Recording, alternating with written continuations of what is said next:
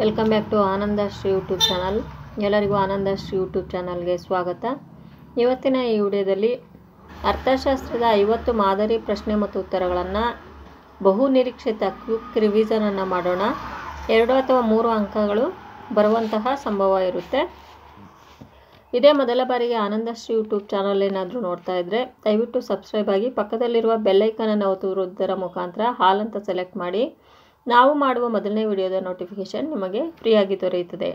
ಹಾಗೆ ನಿಮ್ಮ ಸ್ನೇಹಿತರಿಗೂ ಕೂಡ ಈ ವಿಡಿಯೋವನ್ನು ಶೇರ್ ಮಾಡಿ, ಒಂದು ಲೈಕ್ ಮಾಡಿ ಅಂತ ಹೇಳ್ತಾ ಈ ವಿಡಿಯೋದಲ್ಲಿ ಮೊದಲನೇದಾಗಿ ಏನೇನಿದೆ ಅನ್ನೋದನ್ನು ನೋಡ್ತಾ ಹೋಗೋಣ. ಐವತ್ತು ಮಾದರಿ ಪ್ರಶ್ನೆ ಮತ್ತು ಉತ್ತರಗಳಿದ್ದಾವೆ ಹಲವಾರು ಬಾರಿ ಹಿಂದಿನ ಪ್ರಶ್ನೆ ಪತ್ರಿಕೆಗಳಲ್ಲಿ ಸಹ ಈ ಒಂದು ಪ್ರಶ್ನೆಗಳು ಬಂದಿದ್ದಾವೆ ಹಾಗಾಗಿ ಈ ಒಂದು ಐವತ್ತು ಮಾದರಿ ಪ್ರಶ್ನೆ ಮತ್ತು ಉತ್ತರಗಳನ್ನು ನಿಮಗೆ ಯೂಸ್ ಆಗಲಿ ಅಂತ ಅಪ್ಡೇಟನ್ನು ಕೊಡ್ತಾ ಇದ್ದೇನೆ.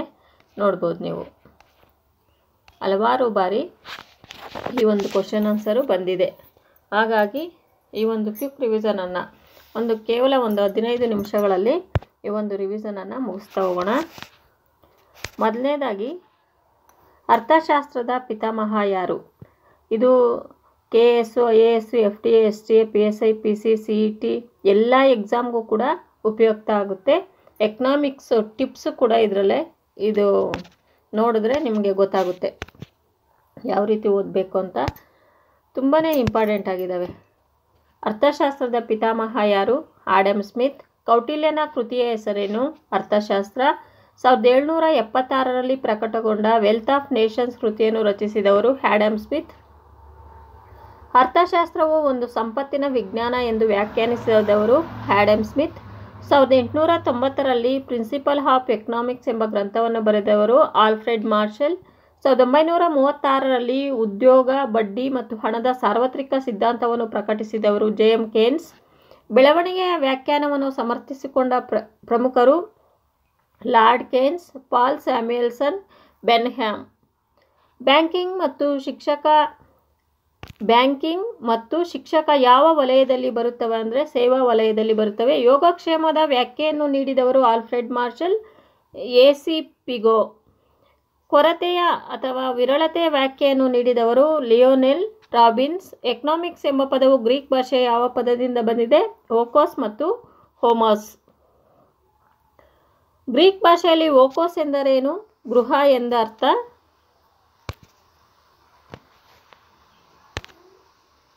ಗ್ರೀಕ್ ಭಾಷೆಯಲ್ಲಿ ನೋಮಸ್ ಎಂದರೇನು? ನಿರ್ವಹಣೆ ಎಂದು ಅರ್ಥ. ಅರ್ಥಶಾಸ್ತ್ರವು ಸಂಪತ್ತನ್ನು ಕುರಿತು ಅಧ್ಯಯನ ಮಾಡುವ ಶಾಸ್ತ್ರ ಎಂದು ಹೇಳಿದವರು ಯಾರು? Adam Smith. ಆರ್ಥಿಕ ಚಟುವಟಿಕೆಗಳ ಮೂಲ ಯಾವುದು? ಬಯಕೆ. ಕೌಟಿಲ್ಯನ ಅರ್ಥಶಾಸ್ತ್ರದಲ್ಲಿನ ಮುಖ್ಯ ವಿವರಣೆಗಳೆಂದರೆ ರಾಜ್ಯ, ಆಡಳಿತ ಹಾಗೂ ಹಣಕಾಸು ನಿರ್ವಹಣೆ. ಬಯಕೆಗಳನ್ನು ತೃಪ್ತಿಪಡಿಸುವ, ಸರಕು ಹಾಗೂ ಸೇವೆಯಲ್ಲಿರುವ ಗುಣಕ್ಕೆ ಏನೆಂದು ಕರೆಯುವರು? ತುಷ್ಟಿಗುಣ. ಹಣ ನೀಡಿ ಸರಕು ಹಾಗೂ ಸೇವೆಗಳನ್ನು ಪಡೆಯುವುದಕ್ಕೆ ಏನೆಂದು ಕರೆಯುವರು? ಆರ್ಥಿಕ ಸರಕು ಸೇವೆ. ಸರಕು ಸೇವೆಗಳನ್ನು ಉತ್ಪಾದಿಸುವ ಚಟುವಟಿಕೆಗಳಿಗೆ ಏನೆಂದು ಕರೆಯುವರು? ಉತ್ಪಾದಕ ಚಟುವಟಿಕೆಗಳು. ವ್ಯವಸಾಯ ಎಂತಹ ಚಟುವಟಿಕೆಯಾಗಿದೆ? ಪ್ರಾಥಮಿಕ ವಲಯದ ಚಟುವಟಿಕೆ. ಸರಕು ಹಾಗೂ ಸೇವೆಗಳನ್ನು ಉತ್ಪಾದಿಸುವುದು ಯಾರಿಗಾಗಿ? ಅನು, ಅನುಭೋಗಿಗಳಿಗಾಗಿ. ನಿಸರ್ಗದಿಂದ ನೇರವಾಗಿ ಪಡೆಯುವ ಉತ್ಪನ್ನಗಳಿಗೆ ಏನೆಂದು ಕರೆಯುವರು? ಪ್ರಾಥಮಿಕ ಉತ್ಪನ್ನಗಳು. ಸಾವಿರದ ಒಂಬೈನೂರ ಅರವತ್ತೆಂಟರಲ್ಲಿ ಅರ್ಥಶಾಸ್ತ್ರಜ್ಞ ಗುನ್ನಾರ್ ಮಿರ್ಡಾಲ್ ರಚಿಸಿದ ಕೃತಿ ಏಷ್ಯನ್ ಡ್ರಾಮಾ.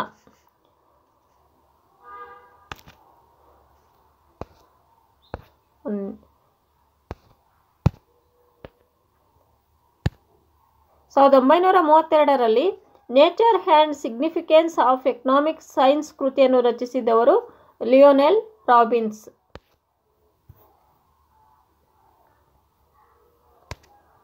ವಿಶ್ವ ಜನಸಂಖ್ಯಾ ದಿನವನ್ನು ಎಂದು ಆಚರಿಸಲಾಗುತ್ತದೆ. ಜುಲೈ ಹನ್ನೊಂದು, ಒಂದು ಚದರ ಕಿಲೋಮೀಟರ್ ಪ್ರದೇಶದಲ್ಲಿ ವಾಸಿಸುತ್ತಿರುವ ಜನರ ಸರಾಸರಿ ಸಂಖ್ಯೆಗೆ ಏನೆಂದು ಕರೆಯುತ್ತಾರೆ? ಜನಸಾಂದ್ರತೆ.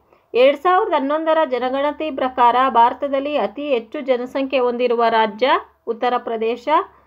ಬಡವರನ್ನು ಬಡವರಲ್ಲದಿವರು, ಬಡವರಲ್ಲದವರಿಂದ ಪ್ರತ್ಯೇಕಿಸುವ ರೇಖೆಗೆ ಏನೆಂದು ಕರೆಯುತ್ತೇವೆ? ಬಡತನ ರೇಖೆ. ಭಾರತದಲ್ಲಿ ಬಡವರ ಶೇಕಡ ಪ್ರಮಾಣ ಎಷ್ಟು? ಶೇಕಡ ಇಪ್ಪತ್ತ ನಾಲ್ಕು. ವಿಶ್ವ ಬ್ಯಾಂಕ್ ಪ್ರಕಾರ ಬಡತನ ರೇಖೆಗಿಂತ ಕೆಳಗೆ ಇರುವವರು ಯಾರು? ದಿನಕ್ಕೆ ಒಂದು ಪಾಯಿಂಟ್ ಇಪ್ಪತ್ತೈದು ಡಾಲರ್ ವೆಚ್ಚ ಮಾಡುವವರು. ಎರಡು ಸಾವಿರದ ಹದಿನಾರರ ವಿಶ್ವ ಹಸಿವಿನ ಸೂಚಿಯಲ್ಲಿ ಭಾರತ ಸ್ಥಾನ ಎಷ್ಟಿದೆ? ಈಗ, ಅಟ್ ಪ್ರೆಸೆಂಟ್ ಈಗಿಂದು ನೋಡ್ಕೋಬೇಕು. ಸಮಗ್ರ ಮಕ್ಕಳ ಅಭಿವೃದ್ಧಿ ಯೋಜನೆ ಐ ಸಿ ಪಿ ಎಸ್ ಮುಖ್ಯ ಉದ್ದೇಶ ಏನು? ಮಕ್ಕಳ ಪೌಷ್ಟ್ ಅಪೌಷ್ಟಿಕತೆ ನಿವಾರಣೆ. ಎಫ್ ಸಿ ಐದ ಮುಖ್ಯ ಉದ್ದೇಶ ಏನು? ಆಹಾರ ಧಾನ್ಯ ಸಂಗ್ರಹಣೆ. ಸಾವಿರದ ಒಂಬೈನೂರ ತೊಂಬತ್ತೆಂಟರಲ್ಲಿ ಅರ್ಥಶಾಸ್ತ್ರಕ್ಕೆ ನೊಬೆಲ್ ಪ್ರಶಸ್ತಿ ಪಡೆದ ವ್ಯಕ್ತಿ ಯಾರು? Amartya Sen.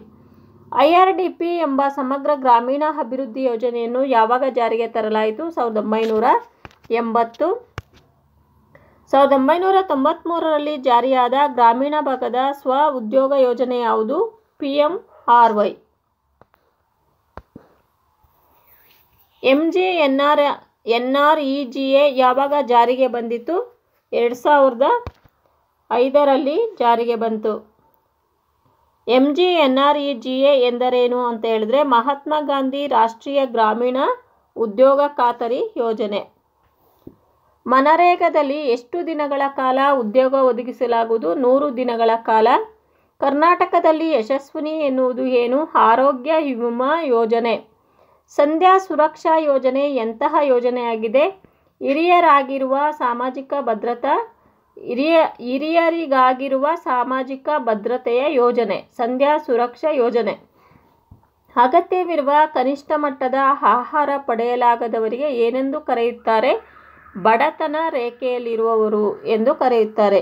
ಅರ್ಥಶಾಸ್ತ್ರವು ಮೊದಲು ಯಾವ ಶಾಸ್ತ್ರದ ಭಾಗವಾಗಿತ್ತು?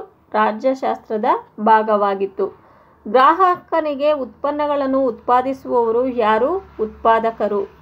ಸರಕುಗಳನ್ನು ಉತ್ಪಾದಕರಿಂದ ಪಡೆದು ಮಾರಾಟ ಮಾಡುವವರು ಯಾರು? ಮಾರಾಟಗಾರರು. ಅರ್ಥಶಾಸ್ತ್ರದ ಮೂಲ ತತ್ವಗಳು. ಕೃತಿಯ ಲೇಖಕರು ಯಾರು? Alfred Marshall.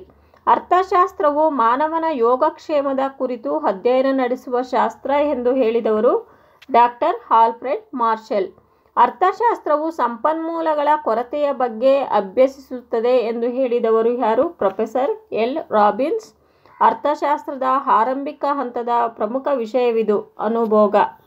ಸರಕು ಹಾಗೂ ಸೇವೆಗಳಲ್ಲಿ ದೊರಕಬಹುದಾದ ವಿಶಿಷ್ಟ ಅಂಶವಾದ ತುಷ್ಟಿಗುಣವನ್ನು ಬಳಸಿಕೊಂಡು ಬಯಕೆಯನ್ನು ಈಡೇರಿಸಿಕೊಳ್ಳುವುದಕ್ಕೆ ಏನೆಂದು ಕರೆಯುತ್ತಾರೆ? ಅನುಭೋಗ ಎಂದು ಕರೆಯುತ್ತಾರೆ. ಅರ್ಥಶಾಸ್ತ್ರವನ್ನು ಪರಿಶುದ್ಧ ವಿಜ್ಞಾನ ಎಂದು ಹೇಳಿದವರು ಯಾರು? Lionel Robbins. ಯಾವುದು ಜೀವಶಾಸ್ತ್ರದ ಬಯಕೆ ಆಗಿದೆ? ಆಹಾರ. ಬೇಡಿಕೆ ಹಾಗೂ ತೃಪ್ತಿಗೆ ಸಂಬಂಧಿಸಿದ ನಿಯಮಗಳು ಯಾವುದರ ಮೇಲೆ ನಿರ್ಧಾರವಾಗುತ್ತದೆ? ತುಷ್ಟಿಗುಣ. ಮಾನವನ ಆಸೆ, ಬಯಕೆ ಇವುಗಳನ್ನು ತೃಪ್ತಿಪಡಿಸುವ ಶಕ್ತಿಗೆ ಅಥವಾ ಗುಣಕ್ಕೆ ಏನೆಂದು ಕರೆಯುತ್ತಾರೆ? ತುಷ್ಟಿಗುಣ. ಪರಿಣಾಮಕಾರಿ ಇಚ್ಛೆಯೇ ಬೇಡಿಕೆ ಎಂದು ವ್ಯಾಖ್ಯಾನಿಸಿದವರು ಯಾರು? ಸಿಲ್ವರ್ ಮನ್ ಅನುಭೋಗಿಯ ಹತ್, ಅಧಿಕ ತೃಪ್ತಿ ಪರಿಕಲ್ಪನೆಯನ್ನು ವಿಸ್ತೃತವಾಗಿ ಪರಿಚಯಿಸಿದವರು ಯಾರು? Alfred Marshall. ವಿನಿಮಯ ಉದ್ದೇಶವನ್ನಿಟ್ಟುಕೊಂಡು ಸರಕು ಮತ್ತು ಸೇವೆಗಳನ್ನು ನಿರ್ಮಿಸುವ ಚಟುವಟಿಕೆಗೆ ಏನೆಂದು ಕರೆಯುತ್ತಾರೆ? ಉತ್ಪಾದನೆ ಎಂದು ಕರೆಯುತ್ತಾರೆ. ಅರ್ಥಶಾಸ್ತ್ರದಲ್ಲಿ ಪ್ರಾಥಮಿಕ ಹಾಗೂ ಮೂಲ ಉತ್ಪಾದನಾಂಗ ಎಂದು ಯಾವುದನ್ನು ಕರೆಯುತ್ತಾರೆ? ಭೂಮಿಯನ್ನು. ಮಾನವ ಶಕ್ತಿಯಿಂದ ದೊರೆಯುವ ಉತ್ಪಾದನಾಂಗಕ್ಕೆ ಏನೆಂದು ಕರೆಯುತ್ತಾರೆ? ಶ್ರಮ. ಶ್ರಮವು ಸಂಭಾವನೆಗೋಸ್ಕರ ಕೈಗೊಳ್ಳುವ ದೈಹಿಕ ಮತ್ತು ಮಾನಸಿಕ ಕಾರ್ಯತತ್ಪರತೆ ಎಂದವರು ಯಾರು? Professor Alfred Marshall.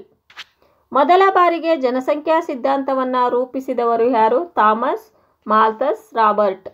ಮಾಲೀಕನು ಕಾರ್ಮಿಕನಿಂದ ಪಡೆದು ಸೇವೆಗಾಗಿ ಕೊಡುವ ಬೆಲೆಗೆ ಏನೆಂದು ಕರೆಯುತ್ತಾರೆ? ಕೂಲಿ. ವ್ಯವಹಾರದಲ್ಲಿ ತೊಡಗಿಸಿರುವ ಹಣಕ್ಕೆ ನಾವು ಏನೆಂದು ಕರೆಯುತ್ತೇವೆ? ಬಂಡವಾಳ.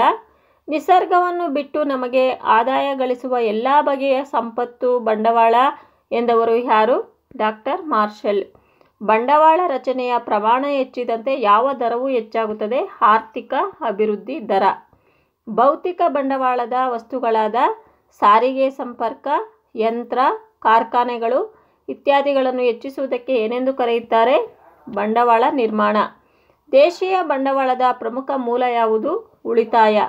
ಕೃಷಿಯ ಉತ್ಪಾದನೆಯಲ್ಲಿ ಶೀಘ್ರವಾಗಿ ಹೆಚ್ಚಾಗುವಿಕೆಗೆ ಏನೆಂದು ಕರೆಯುತ್ತಾರೆ? ಹಸಿರು ಕ್ರಾಂತಿ. ಭಾರತದಲ್ಲಿ ಹಸಿರು ಕ್ರಾಂತಿಯು ಯಾವಾಗ ಆರಂಭವಾಯಿತು? ಸಾವಿರದ ಒಂಬೈನೂರ ಅರವತ್ತಾರರಿಂದ ಅರವತ್ತೊಂಬತ್ತು. ಭಾರತದಲ್ಲಿ ಪ್ರಪ್ರಥಮವಾಗಿ ಹಸಿರು ಕ್ರಾಂತಿ ಆರಂಭವಾದ ರಾಜ್ಯ ಯಾವುದು? ಪಂಜಾಬ್. ಐ ಎಂ ಎಫ್ ಎಂದರೇನು? ಅಂತಾರಾಷ್ಟ್ರೀಯ ಹಣಕಾಸು ನಿಧಿ. ಹಸಿರು ಕ್ರಾಂತಿಯ ಪಿತಾಮಹ ಯಾರು? Norman Borlaug. ನಾರ್ಮನ್ ಬೋರ್ಲಾಗ್ ಯಾವ ದೇಶದವರು? ಅಮೆರಿಕ ದೇಶದವರು. ಭಾರತದ ಹಸಿರು ಕ್ರಾಂತಿಯ ಪಿತಾಮಹ ಯಾರು? Doctor M S Swaminathan. ರಾಷ್ಟ್ರೀಯ ಆದಾಯ ಹೆಚ್ಚಾದಂತೆ ತಲಾ ಆದಾಯವು ಏನಾಗುತ್ತದೆ? ಹೆಚ್ಚಳವಾಗುತ್ತದೆ ಹಣ ಕೊಟ್ಟು ಅದಕ್ಕಾಗಿ ಕಾಯುವ ಮಾಲೀಕನಿಗೆ ಸಾಲಗಾರನು ಕೊಡುವ ಪ್ರತಿಫಲವೇ ಬಡ್ಡಿ ಎಂದು ಹೇಳಿದವರು ಜೆ ಎಸ್ ಮಿಲ್. ಇದಿಷ್ಟು ಇವತ್ತಿನ ತರಗತಿಯಲ್ಲಿ ಡಿಸ್ಕಷನ್ ಮಾಡಿದಂತಹ ಐವತ್ತು ಪ್ರಮುಖ ಪ್ರಶ್ನೆ ಮತ್ತು ಉತ್ತರಗಳಾಗಿರ್ತವೆ. ಇದನ್ನು ಒಂದ್ಸಲ ಎಕ್ಸಾಮ್ಗೆ ಹೋಗೋದಕ್ಕಿಂತ ಮುಂಚೆ ದಯವಿಟ್ಟು ಒಂದ್ಸಲ ನೋಡ್ಕೊಂಡು ಹೋಗಿ, ಇದ್ರ ಮೇಲೆ ಕ್ವಶನ್ಸ್ ಬರುವಂಥ ಸಂಭವ ಹೆಚ್ಚಾಗಿದೆ. ಹಾಗಾಗಿ ಒಂದು ಪ್ರಶ್ನೆ ಮತ್ತು ಉತ್ತರಗಳನ್ನು ಡಿಸ್ಕಷನ್ ಮಾಡಿ, ಮಾಡಲಾಗಿದೆ. ಎಲ್ಲರಿಗೂ ಒಳ್ಳೆಯದಾಗಲಿ ಅಂತ ಹೇಳ್ತಾ ಈ ಒಂದು ವಿಡಿಯೋನ ಮುಗಿಸುತ್ತೀನಿ